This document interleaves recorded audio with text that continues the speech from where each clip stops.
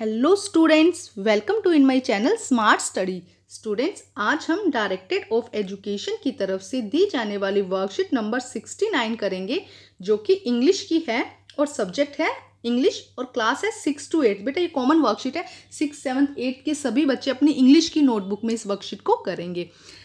Worksheet बेटा 23 सितंबर 2020 की है। तो आइए शुरू करते हैं आज की वर्कशीट वर्कशीट शुरू करने से पहले बच्चे प्लीज़ मेरे चैनल को सब्सक्राइब कर दीजिए। तो आइए देखते हैं आज की worksheet who what and where आज की वर्कशीट हमारी हु व्हाट एंड वेयर से रिलेटेड है।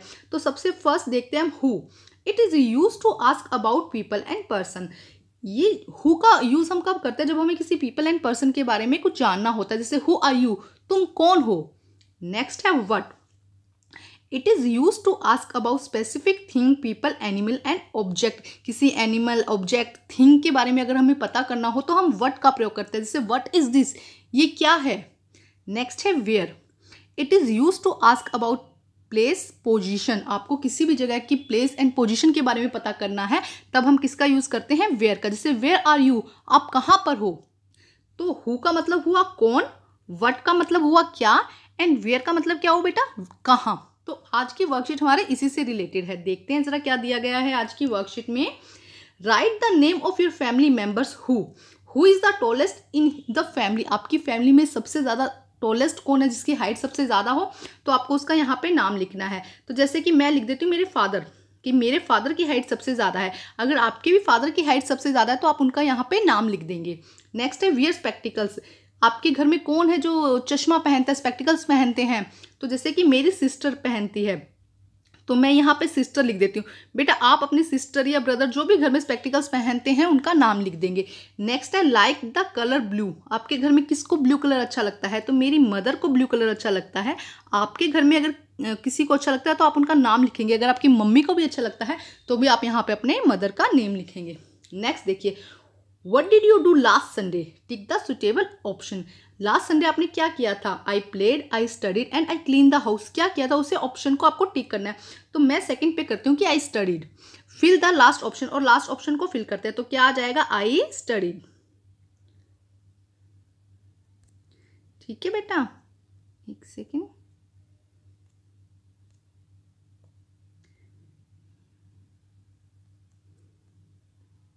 आई स्टडी, ठीक है?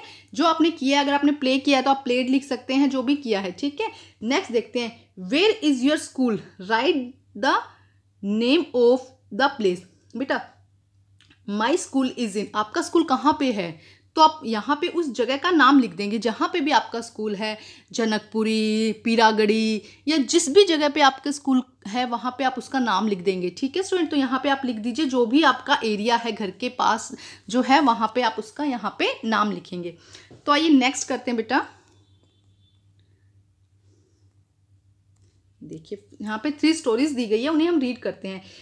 ही इज़ मिस्टर अनिल ये कौन है? Mister Anil he is a farmer ये क्या है? फार्मर है। एंड लाइव इन सहारनपुर और कहाँ पे रहते हैं? सहारनपुर में। कहाँ रहते हैं बेटा? सहारनपुर में। He grow vegetable on his farm he start his work at five o'clock in the morning time he has to go to the city to sell his vegetable तो बेटा, यहाँ पे मिस्टर अनिल की स्टोरी दी गई है, जो एक फार्मर है सहारनपुर में रहते हैं। वेजिटेबल ग्रो करते हैं अपने फार्म में फाइव ओ क्लॉक तक मॉर्निंग में। उठ जाते हैं, काम स्टार्ट कर देते हैं अपना और अपनी वेजिटेबल को सेल करने के लिए सिटी में जाते हैं। नेक्स्ट स्टोरी देखो मिस मिसिज रोशनी की दी गई है। She is Mrs Roshni. She work in a bank she lives in a Mumbai she start his work at nine A M on Sunday she cooks and clean the house next story देखते हैं क्या दिया गया? Next story में देखो he is Mr Abdul he work as a metro driver metro train driver in Delhi He start his work at 7 a.m. He drives at the train safely. In his free time, he like to watch film in a cinema hall near his home. तो बेटा अब जो ये three story दी गई है next जो question है वो इसी से रिलेटेड है हम एक बार देख लेते हैं जैसे कि इज़ ए फार्मर तो हम लिखेंगे हु इज़ अ फार्मर तो कौन है Mr Anil is a farmer work in a bank who work in a bank तो Mrs Roshni work in a bank, is a metro train driver. तो Mr Abdul is a metro train driver. ऐसे ही next question है, does he grow on his farm? क्या करता है? He grow vegetable on his farm. Does she do on Sunday? She cooks and clean the house on the Sunday. Does he do in his free time ये free time में क्या करते हैं mister Abdul? यहाँ पे फार्मर की story चल रही है, बेटा अनिल की, यहाँ पर रोशनी की, और यहाँ पे क्या चल रही है, अब्दुल की स्टोरी तो फ्री टाइम में क्या करते हैं he like to watch film in a cinema hall next देखते हैं does he go to sell his vegetable कहाँ जाते हैं, वो सिटी में। नेक्स्ट डज शी लिव कहाँ पे रहते हैं, Mumbai. Next question does he go to watch a film in a cinema hall तो आइए बेटा, इनके आंसर हम करते हैं। तो आइए बच्चे, इनका आंसर हम करते हैं फ़र्स्ट। देखिए, इज़ अ फार्मर। तो हम क्या लिखेंगे? Mr Anil is a farmer. ठीक है? नेक्स्ट देखिए works in a bank Mrs Roshni works in a bank क्या आ जाएगा हमने यहाँ पे देखा था ना? Mrs Roshni works in a bank next है, is a metro train driver. Mr Abdul is a metro train driver. Next देखिए, अब है वर्ड से related question. What does he grow on his farm अपनी फॉर्म में क्या उगाता है vegetable he grow vegetable on his farm क्या लिखेंगे हम? He grow vegetable on his farm what does he do on Sunday Sunday को रोशनी क्या करती है? She cooks and clean the house she cooks and clean the house on Sunday आप on Sunday भी लिख दीजिएगा इसके आगे. नेक्स्ट देखिए does he do his free time अपने फ्री टाइम में जो मिस्टर अब्दुल थे, वो क्या करना पसंद करते हैं? He like to watch film तो हम लिखेंगे he like to watch film in his free time अपने फ्री टाइम में क्या अच्छा लगता है उनको?